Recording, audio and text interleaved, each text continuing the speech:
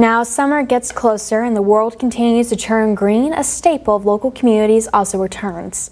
A farmer's market provides the community with fresh and healthy local food and even unique handmade items.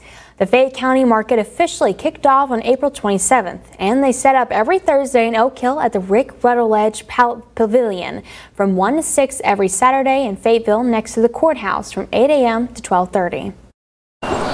Well, we have uh, honey, uh, maple syrup, uh, baked goods, different crafts, and um, pretty soon we will start having vegetables. It's a little bit early right now. Now, we all know you can't rush Mother Nature, so we'll all have to patiently allow the cycle of vegetables to begin. But until then, it is certainly worth stopping by to see what is available. We're hoping to have green beans very soon.